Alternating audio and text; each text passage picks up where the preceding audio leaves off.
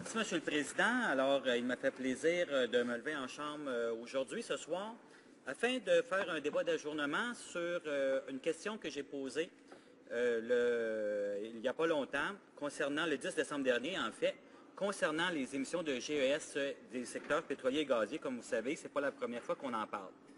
D'ailleurs, j'avais interpellé à ce moment-là la ministre de l'Environnement du Canada sur l'importante entente entre la Chine et les États-Unis euh, pour réduire leur émission de gaz à effet de serre et sur le récent accord Canada-États-Unis sur la qualité de l'air déposé par la ministre de l'Environnement.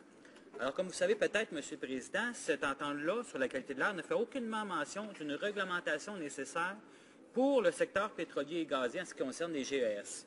Qui est quand même étrange parce que ça fait quand même partie de la pollution de l'air. Alors, comme vous le savez, Monsieur le Président, il est urgent d'avoir un effort concerté de tous les États, euh, y compris le Canada, pour euh, s'attaquer à la problématique des changements climatiques. Malheureusement, depuis l'arrivée du gouvernement conservateur, notre crédibilité sur la scène internationale en a pris un coup très dur. On a été durement affecté par euh, le piètre bilan environnemental du gouvernement conservateur. Euh, concernant cette euh, question, voici exactement le libellé que j'avais mentionné.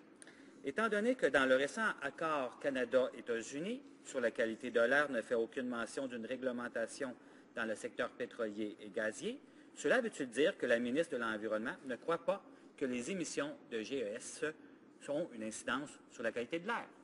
Alors, à poser la question, Monsieur le Président, on s'attendait à ce qu'elle réponde oui, que c'était une erreur de sa part, qu'elle allait corriger la situation. Eh bien non.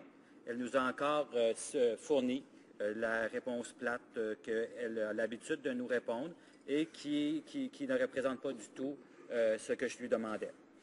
À, à, cet égard, voyons ce que représentent un peu les émissions de GS du secteur pétrolier et gazier au Canada.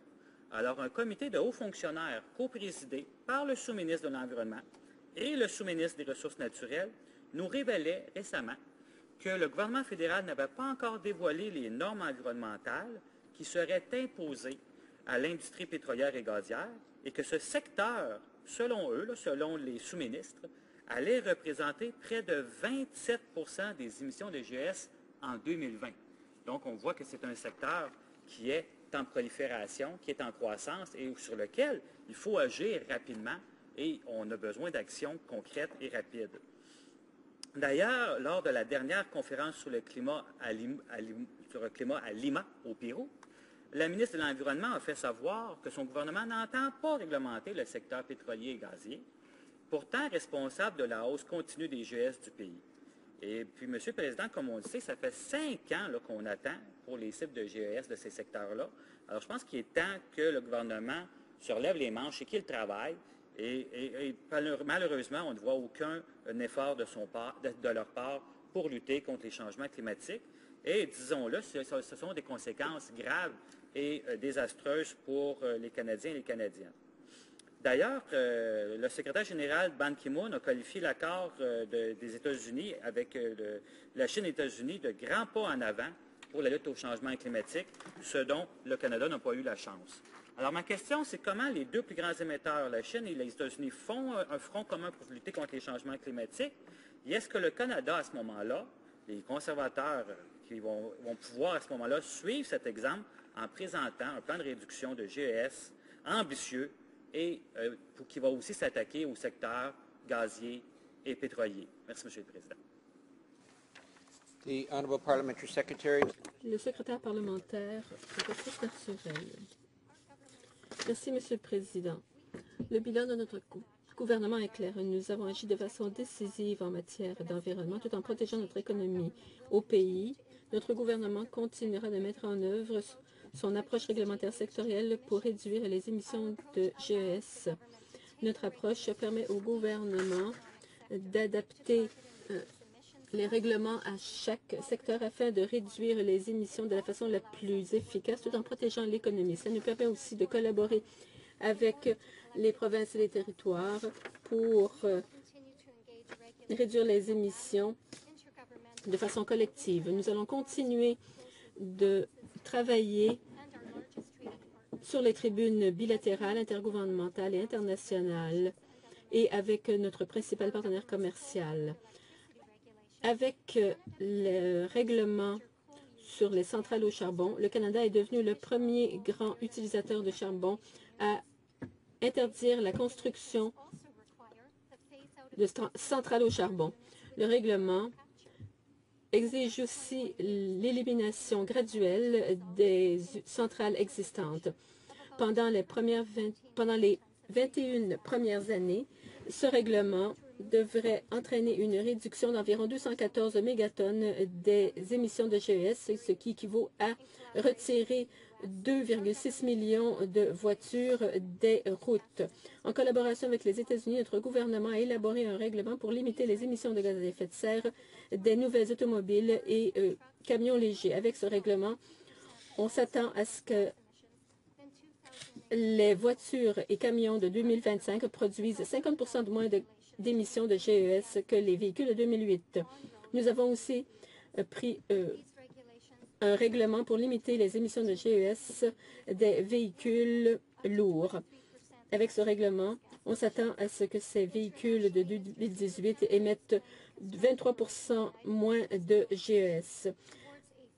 À l'échelle internationale, le Canada a joué un rôle constructif dans la négociation des Nations unies sur un accord sur le changement climatique. Nous avons toujours dit que toute entente internationale à cet égard devrait inclure tous les grands émetteurs. Et nous sommes très encouragés de constater que les États-Unis et la Chine, qui représentent 39% des émissions mondiales d'effet de serre, de gaz à effet de serre, dis-je, euh, est décidé d'agir. Nous continuons de travailler avec nos partenaires pour en venir à une convention qui comprenne tous les grands émetteurs. Au sein du Conseil de l'Arctique, dont nous assumons en ce moment la présidence, nous avons déjà pris des mesures pour réduire les polluants comme le charbon noir et le méthane.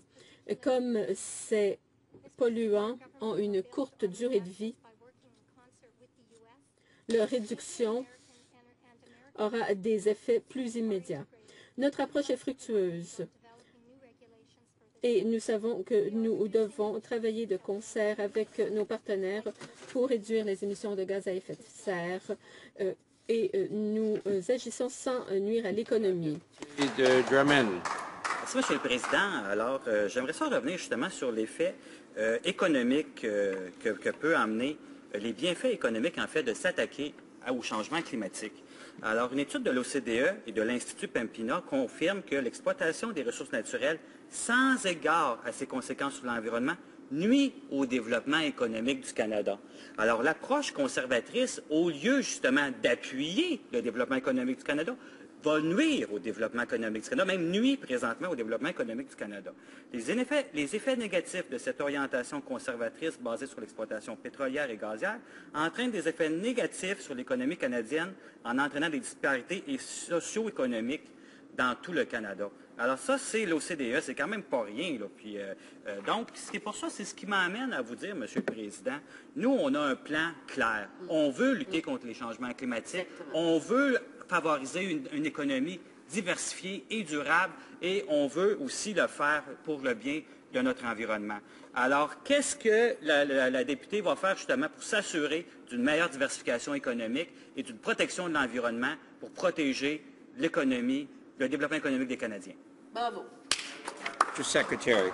Le secrétaire parlementaire. Merci, Monsieur le Président. Le Canada fait preuve de diligence ou a fait preuve de diligence pour en arriver à un accord à Paris le Canada travaille activement à conclure un accord à Paris qui soit juste pour le Canada et tous les émetteurs. À l'heure actuelle, le Canada n'émet que 2% des euh, GES.